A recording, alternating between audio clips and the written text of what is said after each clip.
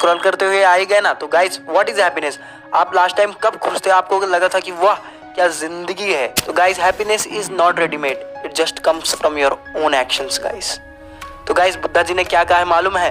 कि there is no path to happiness happiness is the path यानी guys यह आपको इंग्लिश बुक समरी से बताने वाला हूँ अपनी।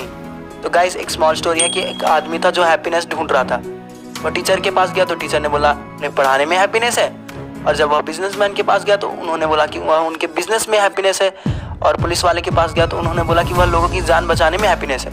लेकिन वह सेटिस्फाइड नहीं था क्योंकि वह लोगों के काम थे। लेकिन गाइस जब वह सेटिस्फाइड हुआ तब, जब वह लोगों को देखा कि वह नाच रहे हैं, गा रहे हैं मूवमेंट अपना एंजॉय कर रहे हैं, बिना किसी टेंशन के तो गाइस आप भी स्ट्रेस छोड़िए।